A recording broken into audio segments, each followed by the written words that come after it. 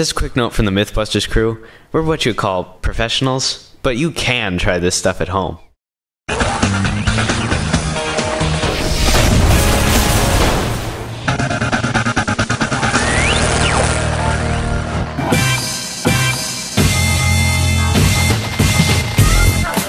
Hey Jamie, I've been hearing this myth on the Vex forums that using wheels on your Vex robot is better than using tank treads. What do you think about this? Well, to see if wheels are better than treads, we need to do a couple tests. First off, why don't we try by testing out their relative speeds?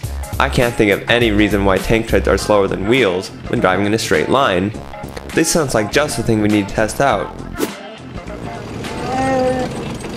It's time to head to the lab and see whether or not wheels are better than tank treads. Okay, so we built our two robots. We have our robot with wheels and our robot with treads. We've also laid out a set distance so we can compare their speeds side by side.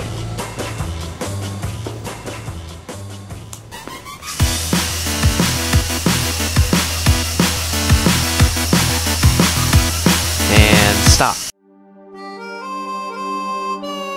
Wow, tank treads are definitely slower than the wheels. My guess is that there's extra friction in the tank tread system. Here, let me just take out this shaft. Whoa, this clearly doesn't move as easily as the wheels. So what do you say, Jamie? Tank treads make your robot slower when driving in a straight line confirmed?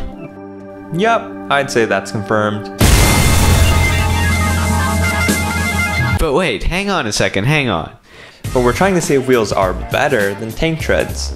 So even though tank treads drive in a straight line slower than wheels, I still think that they might be better at driving over obstacles because of there's more surface area in contact with the ground and the objects at all times. For instance, we can test the base driving over the sacks from last year's game and the bump from this year's game. Sounds reasonable. Let's test it out. Here we go.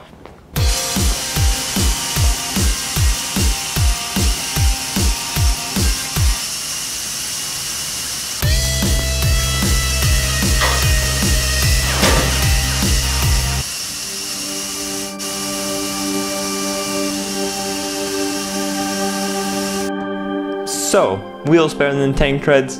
I say busted. Definitely busted. While tank treads may be slower than wheels when driving a straight line, the treads are still better for going over obstacles, so you can't really say that one is better than the other or vice versa. It really depends on the situation that they're being used for.